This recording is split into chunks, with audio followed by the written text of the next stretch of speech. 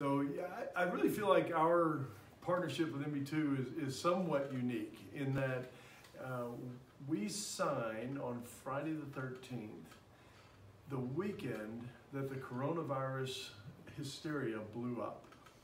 I had friends from all over the country calling and asking me how are we doing, you know, how's this thing going? Is your deal going to go through?